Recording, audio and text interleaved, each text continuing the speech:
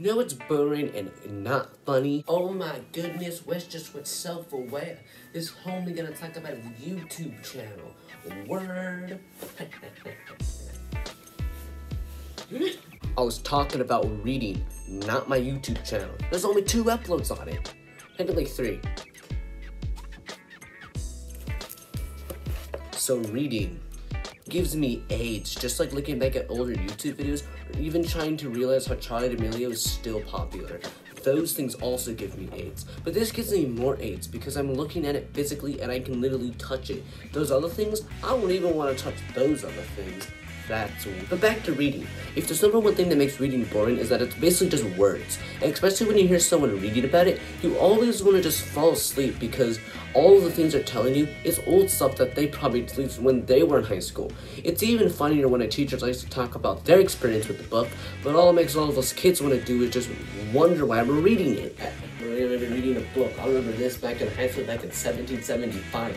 You know, my man George W. Bush was my homie in high school.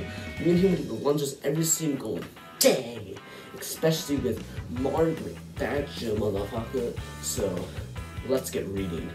It's even worse when you're trying to reading it by yourself, because that's when people fall asleep.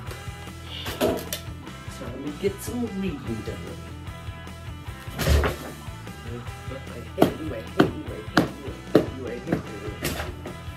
Yo, what up? People, teaching you guys to do to textbooks. Textbooks are like the fourth dimension. They're so lame.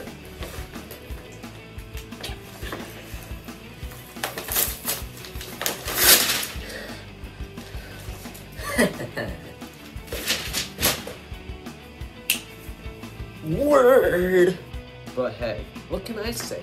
I'm the type of person that reads Reddit posts while taking a some reason I could still find a way to fall asleep to that. Funny Reddit post.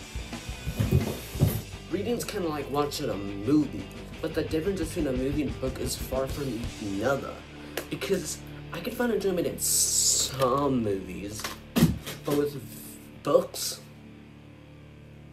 I don't care who wrote it. I'm only never gonna read a book in my entire life. I don't care how scientifically or historically accurate it is. It's gay.